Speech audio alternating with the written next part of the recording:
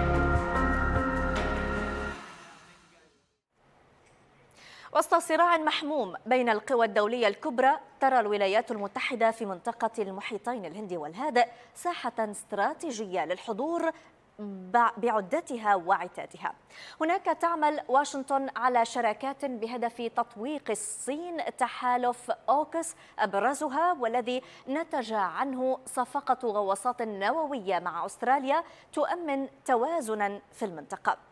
صفقة مقسمة إلى جزئين. الأولى قيمتها بين 50 إلى 85 أو 58 مليار دولار. تتضمن بيع ثلاث إلى خمس غواصات نووية أمريكية لأستراليا من طراز فيرجينيا. ستصل إلى موانئ أستراليا بحلول عام 2030 الثانية تتمحور حول خطة تصنيع للغواصات النووية على الأراضي الأسترالية بدعم أمريكي وبريطاني حيث أطلقت أستراليا أكبر استثمار عسكري في تاريخها بتكلفة ستصل إلى 245 مليار دولار. خطة ستبدأ بمرحلتها الأولى باستثمار نحو أربعة مليارات دولار على مدى أربع سنوات لتوسعة قاعدة غواصات رئيسة في مدينة أديليد الأسترالية وأحواض بناء الغواصات إلى جانب تدريب العمل. بنية تحتية ستستخدم في تصنيع غواصات نووية من طراز أستوت في عام 2040 على أن تدخل أولى الغواصات الخدمة بحلول عام 2050 تحت مسمى جديد وهو SSN أوكس وفقا لهذه أو لهذا الواقع سيجري بناء غواصة نووية واحدة كل ثلاث سنوات حتى يصل عددها في الأسطول الأسترالي الذي تم إنتاجه داخليا إلى ثماني غواصات. خطة تراها الصين وروسيا تتعارض مع معاهدة حظر انتشار الأسلحة النووية الموقعة عام 1968 لنقل المواد الانشطارية والتكنولوجيا النووية. واقع استغلت فيه دول أوكس الثلاث الثغرة القانونية في هذه المعاهدة والتي تتعلق بالفقرة الرابعة عشرة وهي التي تسمح بإعفاء المواد الانشطارية العسكرية غير المتفجرة مثل الدفع البحري من عمليات التفتيش والمراقبة من قبل الوكالة الدولية للطاقة الذرية. إذا أثارت صفقة الغواصات الأمريكية إلى أستراليا تنديد الصينيين والروسيين. لكن ما الذي يميز الغواصات النووية عن غيرها؟ ولماذا تلجأ إليها الدول لتطوير أسطولها البحري؟ نتابع. ليست مجرد غواصة تقليدية فالغواصة النووية لها ما يميزها فهذا يعني أنها تستطيع الحركة بسرعة فائقة. كما أنها تغوص إلى عمق يبلغ مئات الأمتار. تحت سطح البحر ولفترة تتجاوز 25 عاما. لا تحتاج خلالها للتزود بالوقود. عام 1954 أنتجت الولايات المتحدة الأمريكية أول غواصة نووية في العالم. عرفت باسم يو إس إس نوتيلوس. ثم توالت بعدها الغواصات الأمريكية بنسخ أكثر تطوراً. هذه هي يو إس إس هاواي مثلا أحد نماذج الصناعات الأمريكية للغواصات وهذا ما تبدو عليه من الداخل من حيث الإمكانيات. وللعلم ليست الولايات المتحدة وحدها من تصنع غواصات نووية في العالم. معها روسيا وفرنسا وبريطانيا وكذلك الصين والهند. بالنسبة لآلية عملها فإن الغواصات النووية تعتمد على مفاعلات صغيرة موجودة على متنها تنتج طاقة نووية وتولد الحرارة لصنع بخار للتوربينات التي تولد الكهرباء لدفع وتشغيل الأنظمة الداخلية. كما أن الغواصة النووية قادرة على سحب مياه البحر وتنقيتها عبر عملية تحلية المياه. وذلك بغية تكوين البخار وخلق الأكسجين من خلال التحلل المائي. ويستخدم بعض هذه المياه النظيفة للشرب أيضاً. إلا أن خطرها يتجلى بإمكانية حدوث تسرب إشعاعي أو إذا تعطل جهاز تبريد المفاعل ولم يغير بالسرعة ما يشكل تهديدا لأمن طاقم العمل داخل الغواصة. وهذا ما حصل فعلا عام 2000 للغواصة النووية كورسك درة البحرية الروسية. انفجر توربيد بصورة عرضية داخلها عندما كانت تبحر شمال البلاد ما أدى لغرق 118 من طاقمها ضمن أسوأ كارثة عرفتها البحرية الروسية بعد العهد السوفيتي.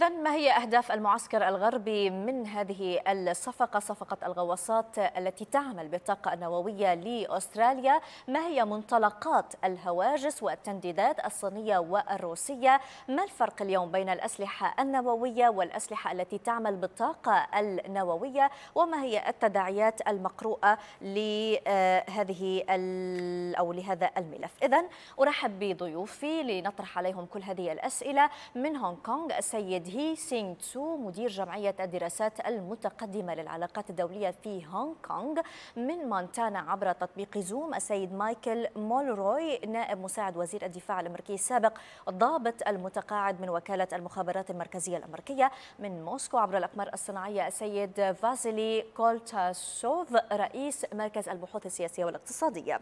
مرحبا بكم ضيوفي الكرام. سيد مايكل أبدأ معك.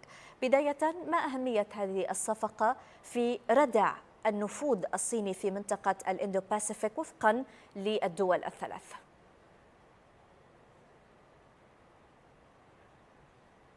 So great to be with you, my fellow guests. يسعدني أن أكون مع الضيوف الكرام ومع المشاهدين يمكنني القول أن الولايات المتحدة وبريطانيا وأستراليا هم حلفاء ويجب أن يكون هناك تطابق بينها للدفاع عن أنفسها وعن أمنها ولذلك من الضروري للولايات المتحدة أن تبرم مثل هذا الاتفاق وكما قلت فهي غواصة تعمل بالطاقة النووية مع تسليح تقليدي وبالتالي لا تنطوي تحت معاهدة حظر انتشار الأسلحة النووية. وبالتالي هو ليس استغلال لثغرة هذه المعاهدة تتعلق بالأسلحة وهذه ليس سلاحا بل غواصة تعمل بالطاقة النووية مما يعطي أستراليا أو أي دولة تحصل على هذه الغواصات القدرة على أن تتقدم أسرع ولمسافات أطول وبأصوات أقل مما تصدرها الغواصات التقليدية. ومن هنا الأهمية بالنسبة للولايات المتحدة وبريطانيا وأستراليا. سيدي ما هي مآخذ الصين على هذه الخطوة؟ سيما آه، إنه اليوم في فرق بين الأسلحة التي تعمل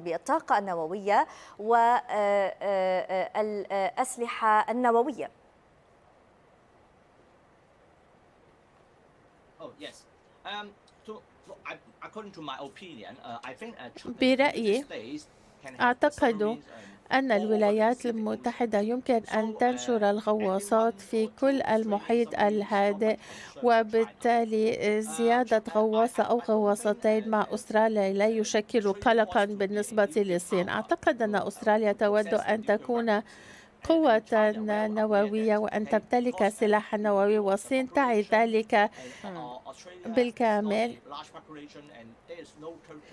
والواقع أن ليس هناك أي خلافات بين أستراليا ودول الجوار مثل الصين وبالتالي ليس هناك تهديد. و أستراليا لا تود بالتالي آه، في الواقع أن تمتلك سلاحا نووي ولكن أعتقد أنها تود أن تعزز من قواتها العسكرية التقليدية والغواصات التي تعمل بالطاقة النووية تختلف عن الغواصات التقليدية لأنها يمكن أن تعمل بعمليات متقدمة وتستخدم في الاستطلاع أو حتى لإطلاق صواريخ كروز. وبالتالي أعتقد أن الصين قلقة بشأن العمليات العسكرية والأسلحة التقليدية وزيادتها في المنطقة. إذا هي قلقة بشأن القدرات التقليدية وليس اكتساب أستراليا للأسلحة النووية. طيب سيد فازلي ماذا عن موسكو؟ أيضا موسكو يعني آه، نددت بهذه الخطوة. ما هي مخاوف موسكو من هذه الخطوة؟ وهل تبدو لها خطوة مختلفة عن سابقاتها؟ يعني آه، هو معروف هذا التحالف تحالف أوكس هو تحالف شبه نووي يعني آه، بين بين هاتين أو هذه الدول الثلاث. فما الجديد يعني اليوم؟ ما الذي يدفع موسكو إلى التعبير والتعبير عن هذه المخاوف والتنديد بهذه الطريقة؟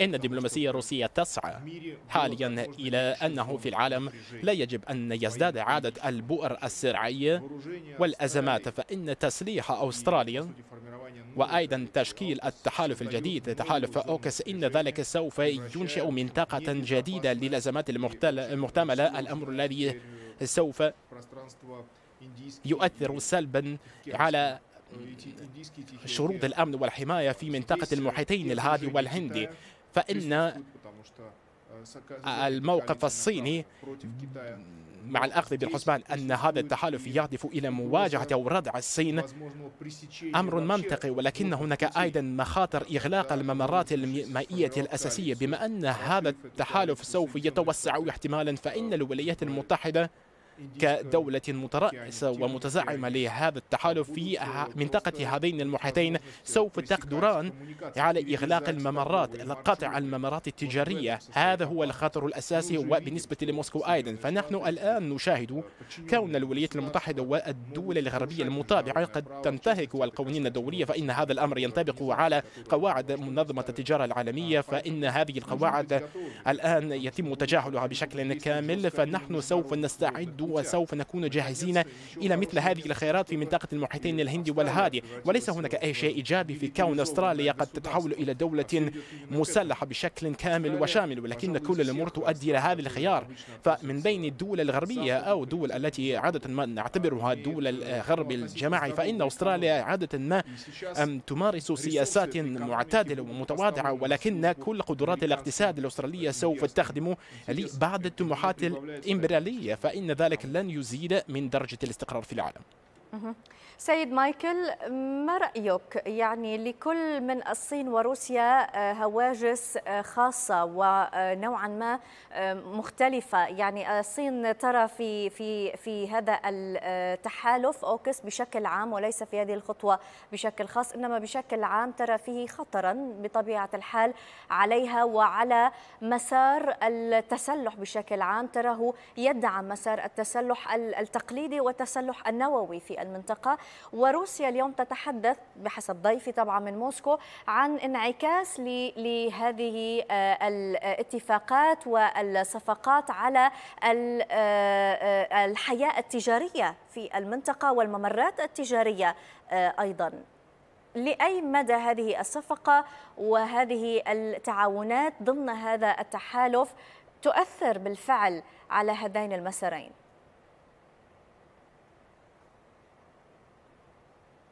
Uh, so I'd start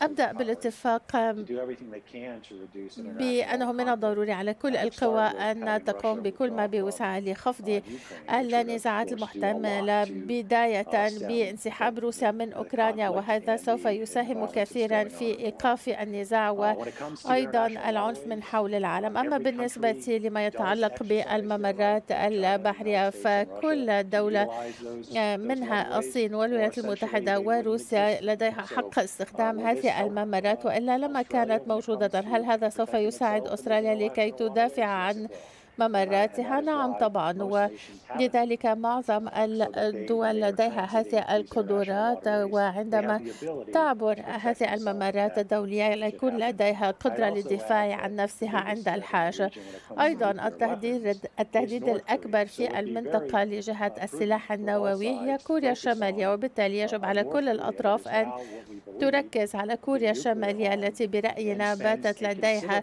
السلاح النووي وتمضي طويلا في تطوير آليات. يمكن أن تستهدف دول المنطقة وتصل إلى الولايات المتحدة. هذا هو التهديد الأكبر بالنسبة لمنع حظر الانتشار النووي والاستخدام النووي من حول العالم ويجب على كل دول العالم أن تتحد في مواجهة ذلك. سيدي آه، ما رأيك بما قاله السيد مايكل؟ واليوم الصين تقول أنه في هذه الخطوة في هذه الصفقة خرق لروح معاهدة حظر الأسلحة النووية.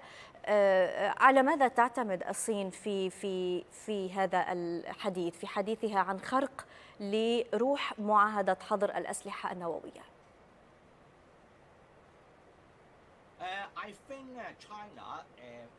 uh, أعتقد أن الصين عندما تصرح عن أن هذا يشكل اختراقا للمعاهدة فهي تستهدف الولايات المتحدة فهناك حجة دبلوماسية بأن الولايات المتحدة لم تحترم المعاهدة. ونقلت هذه التكنولوجيا لأستراليا فهي أول من خالف آه، هذا أو خرق هذه المعاهدة وبالتالي ليس هناك مانع من نقل التكنولوجيا إلى كوريا الشمالية. سيد آه، فازيلي أيضا هناك أيضا يعني تعبير من قبل روسيا وبعض المسؤولين الروسيين عن مخاوف من آه، آه، نووي غربي في منطقة الاندو باسيفيك يعني وانتهاك أيضا لمعاهدة حظر الأسلحة النووية. بينما في الوقت نفسه موسكو ترفع تأهبها النووي في إطار طبعا أو في في سياق الحرب الأوكرانية. وأيضا هناك الكثير من التقارير تتحدث عن زيادة في مستوى النووي عالي التخصيب المرسل من موسكو إلى منشاه نووية صينية بسبعة أضعاف. فاذا يعني هل هل آه، آه، تتوجس روسيا اليوم من نووي غربي بينما هي في المقابل آه، ترفع تأهبها النووي وتتعاون نوويا مع الصين؟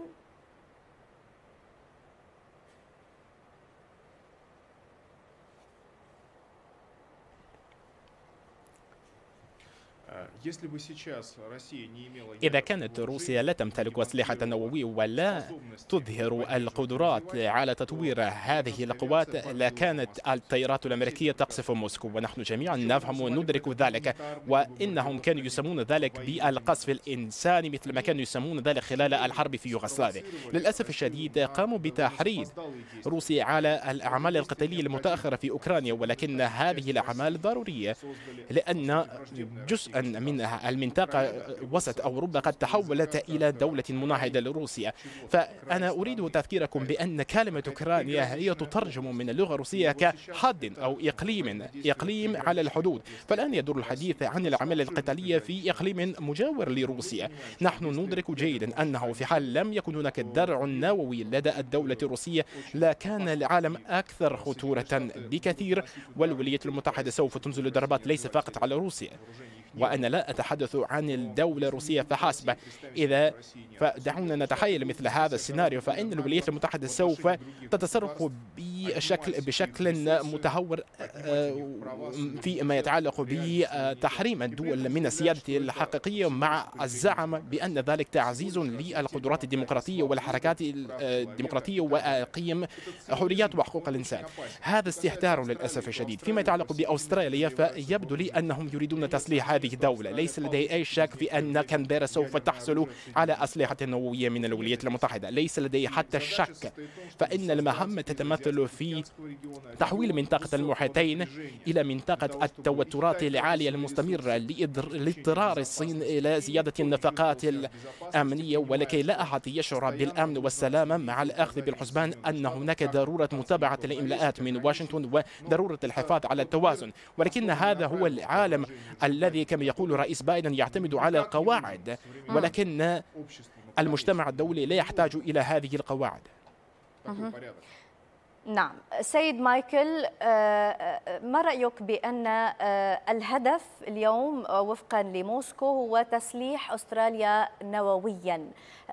نحن نعلم أن أستراليا وافقت على عدم وجود مفاعل آه، نووي أو مفاعل تدريب أيضا على على أرضها وأنه ستأتي بالاسلحه آه، النووية أو التي تعمل بالطاقة النووية عبر هذا التحالف من حلفائها لا سيما الولايات المتحدة الأمريكية، اليوم هناك من يقول إن هذه الصفقة تشكل سابقة وأنه يمكن استخدامها لإخفاء اليورانيوم عالي التخصيب عن الرقابة الدولية و هو ما يشي أو يشير إلى ما يقوله ضيفي من موسكو إنه بالنتيجة سيتم تسليح أستراليا ربما تدريجيا ومن دون أن يشعر المجتمع الدولي أو الرقابة الدولية النووية أن تشعر بذلك. ما رأيك؟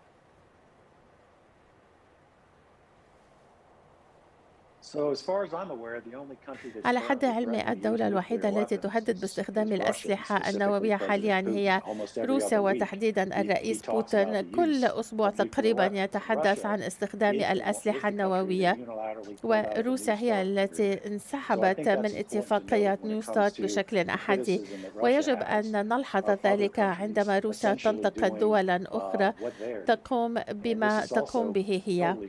وأيضا هي مجرد تكهن هنا ويتم الحديث عن ما قد يحدث في المستقبل وعن فكرته حول ما قد يحدث في المستقبل. إذا أستراليا كانت مهتمة بالحصول على السلاح النووي فيحتاج ذلك إلى فلا تحتاج عفوا إلى مثل هذه الصفقة بالمليارات ولن تقوم بالإعلان عنها برأيي.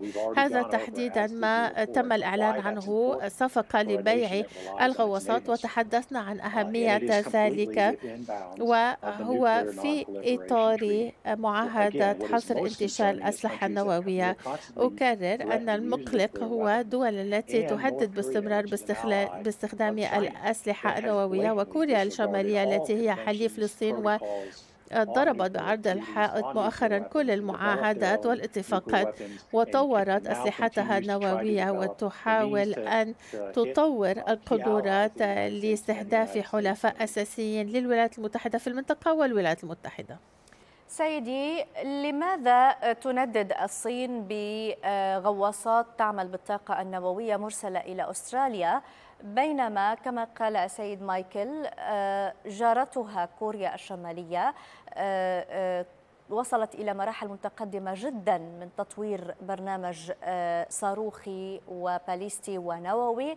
والصين يعني تبدو أنها موافقة على ذلك أو على الأقل هي لا تبدي رغبة في التدخل لمنع ذلك.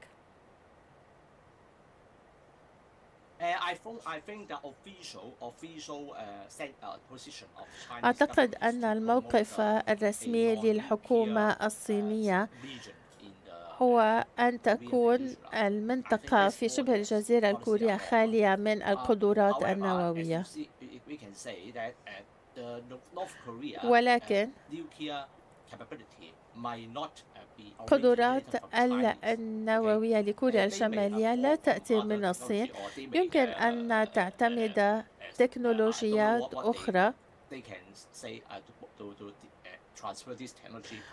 ولا أعرف كيف يمكن أن ينقلوا التكنولوجيا والطاقة من دول أخرى ولكن الموقف الرسمي للصين كما قلت لا يدعم كوريا الشمالية لتطوير قدراتها والأسلحة النووية قبل أن أعود لسيد فازيلي برأيك ماذا تتوقع من آه، رد فعل صيني على هذه الخطوة وعلى تحركات أوكوس في منطقة الإندو باسيفيك تحديدا نوويا؟ يعني اليوم هناك أيضا هواجس غربية من تطوير الصين لبرنامج نووي أيضا ولقدرات نووية معينة. آه، هل نتوقع أن آه، تذهب بعيدا الصين بتطوير قدراتها النووية أم العكس ربما أن تطمئن الغرب إلى يعني نشاطاتها النووية بشكل عام.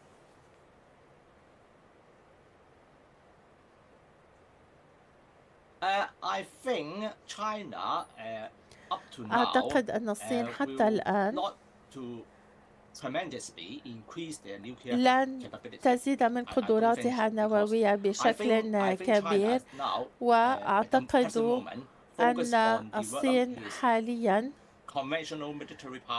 تركز على تطوير قدراتها العسكرية التقليدية خاصة لبعض حاملات الطائرات والطائرات المقاتلة. ولا تركز نعم. على تطوير قدراتها النووية. على حسب ما أعتقد.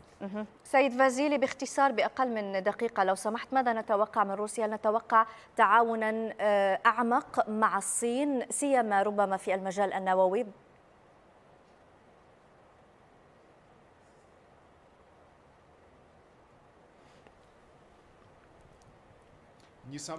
بدون أي شك روسيا والصين سوف تقومان بهذا التقارب بما في ذلك في مجالات تطوير الأسلحة النووية واستخدام الطاقة النووية السلمية بما في ذلك التدريب المشترك للقوات التقليدية. أظن أن الدولتين سوف تتعاونان لتوريد الأمن والسلامة في كل القارة الأوراسيوية لأن هنا يتوفر لدينا كل من المختبرات البيولوجية للولايات المتحدة وهي تشارك في إنشاء الأسلحة الجينية والبيولوجية وكما يبدو هم يستخدمونها.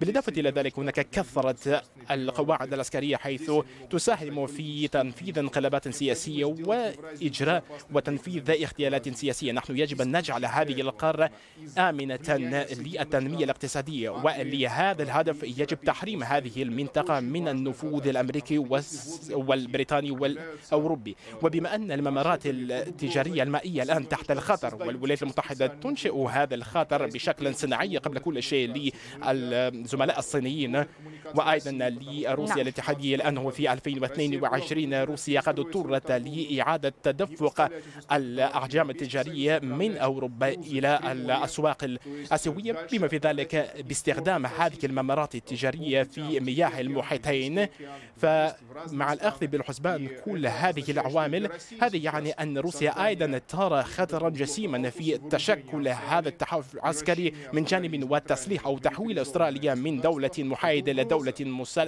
مسلحة. خطرا جسيما على التجارة الخارجية لروسيا ولدينا وضع في غاية التعقيد وفي نهاية المطاف يجب علينا أن نفهم والآن يشاهد تلفزيون الناس من الدول المتحضرة فإنهم يطلعون على ما يقوله كل من سي جين بينغ وفلاديمير بوتين فمن غير المقبول تسليم الكلمات المكذوبة من الرئيس فلاديمير بوتين تعليقا على ضيفكم الكريم من الولايات المتحدة. هناك مختلف الأكاذيب بشأن أن روسيا تقوم بابتزاز نووي وتهدد باستخدام الأسلحة النووية. هذا ليس صحيحا فإن العقيدة العسكرية الرسمية لا تنص على إمكانية إنزال ضربة نووية أولى خلافا للعقيدة الأمريكية. ولهذا السبب يجب أن نقول بشكل مباشر روسيا تهتم بتنمية سلمية ولكن بسبب الأزمة المالية والاقتصادية الولايات المتحدة ترغب في الحصول على المزيد من الموارد. أو الاستحواذ نعم. على المزيد من الموارد. فلذلك التصرفات تصبح أكثر خطورة ونحن يجب أن نبحث عن الأساليب والطرق لحماية مصالحنا التجارية والاقتصادية من التدخل الأمريكي. نعم. شكرا جزيلا لك. اذا السيد فازيلي كولتاشوف رئيس مركز البحوث السياسية والاقتصادية حدثني من موسكو. الشكر موصول لسيد مايكل مونروي نائب مساعد وزير الدفاع الأمريكي السابق والضابط المتقاعد من وكالة المخابرات المركزية الأمريكية وأيضا السيد هي سينغ تسو مدير جمعية الدراسات المتقدمة للعلاقات الدولية في هونغ كونغ. شكرا جزيلا لكم. اشتركوا في قناة الشرق للأخبار على يوتيوب لمتابعة آخر التطورات والأحداث السياسية. معي أنا ميرا شغازي